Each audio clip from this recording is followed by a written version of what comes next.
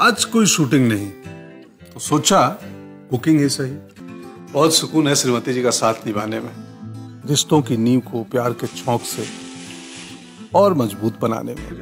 तो हमेशा बीबी ही क्यों करे कुक आज से, अभी से you cook with you cook बदलते भारत के रंग में रंग जाओ यू कुक के संग बदलाव की सीटी बजाओ।